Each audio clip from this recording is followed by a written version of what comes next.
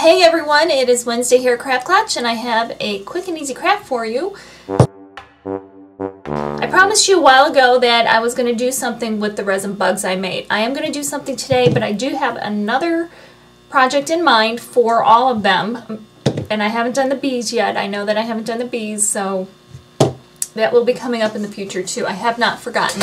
If you didn't see how I made these, definitely go check out the video for these.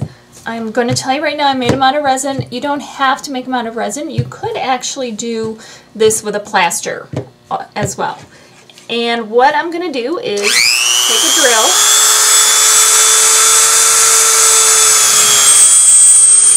Okay, we'll clean them up.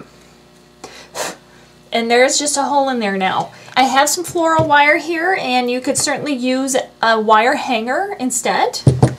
And what I'm going to do is I'm going to just twist this.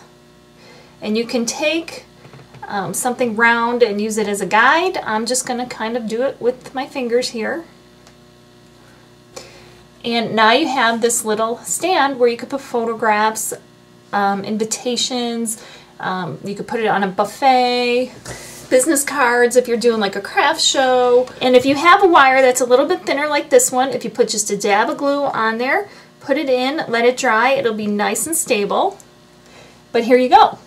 So you could do business cards, you can do photographs, you can do greeting cards if you have them like on your mantle or something.